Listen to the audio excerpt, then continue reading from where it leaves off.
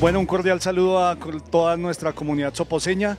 Es una grata noticia para nosotros eh, manifestarles que iniciamos nuestras mesas de trabajo para formulación de plan de desarrollo. Hoy iniciamos con comunidad aquí en la vereda Comuneros, muy contentos, muy complacidos por la participación. Ayer sábado 18 tuvimos con presidentes de Junta de Acción Comunal, exclusivamente con ellos la primera, para de ahí que ellos hicieran una idea cuál iba a ser la metodología. Eh, todos participan, todos opinan, la palabra se respeta, la opinión desde la diversidad. En el medio del, del debate que se hace en las mesas, el señor alcalde Miguel Alejandro Rico Suárez firma un pacto un pacto de opinión con todos los participantes. El pacto queda en cada una de las comunidades y posteriormente la idea es recoger todas las problemáticas y visibilizar o poder entender la realidad de los territorios a partir de la opinión de quienes están en nuestras comunidades.